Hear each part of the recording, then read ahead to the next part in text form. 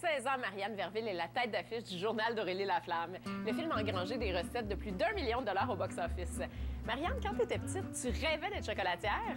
Alors aujourd'hui, on te fait plaisir parce qu'on est à la chocolaterie Marius et Fanny à Laval. On s'en va faire du chocolat. Ça me donne le goût d'en manger. Souvent, quand les femmes te croisent dans la rue, ils t'appellent Aurélie. Est-ce que tu as peur d'être étiquetée à ce personnage-là? Euh, pour les jeunes, c'est sûr que, bon, euh, t'es étiquetée euh, Aurélie, oui, mais... Aurélie Laflamme. Denis Beaulieu, mon directeur. En plus de puer Shave, il répète toujours les mêmes affaires. En même temps, là, j'ai un autre projet de, bon, une télésérie qui s'en vient. Euh, c'est sûr que c'est pas le même genre de public, là. Ça va être euh, plus pour les adultes.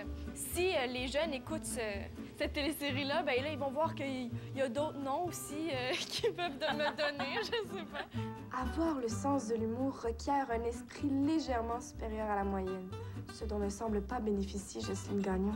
Bon, ça c'est ce que j'aurais aimé dire. Mais en réalité, ça sonnait plutôt comme... Ben, j'ai juste dit que. Ben, qu'on prendrait le train.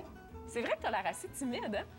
Ben, c'est sûr que je suis pas euh, une fille qui est très extravertie, mais je pense que mes amis, vont dire le contraire. À chaque fois que je dis, ben, je suis un peu gênée, tu sais, j'ai été gênée d'aller y parler. Mes amis, disent, ben, voyons, t'es la fille la plus sociable que je connaisse. T'es la fille de Pierre Verville. Est-ce qu'il t'aide dans ta carrière, ton père?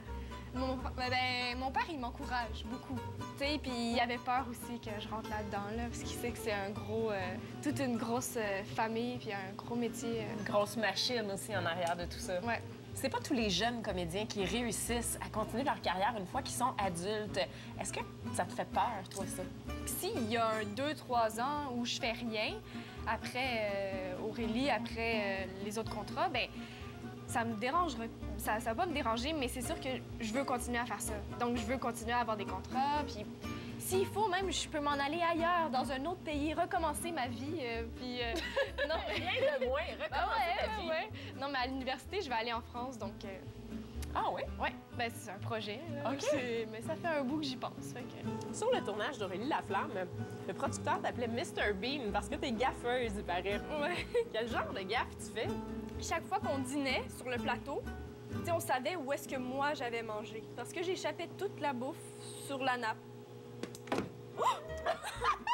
Hey, j'ai perdu la j'ai perdu la bague dedans. Je, je- Hey, excusez-moi. Sérieusement, je. Non, regarde, ça se fait dans le plaisir. Tu sais, moi, si j'étais toi, là, je m'en sacrerais une claque ici. Ah ouais, comme. hey, je m'excuse. Oh, je suis désolée. Je suis vraiment désolée. T'es vraiment désolée? Oui, je suis vraiment désolée. Oh, une petite tache là. Toi aussi, t'as une petite tache juste là, là. Ah, attends, faut que je te replace le toupette. Pour voir Marianne à l'écran, le journal d'Aurélie Laflamme sortira très bientôt en DVD. Le 28 septembre prochain.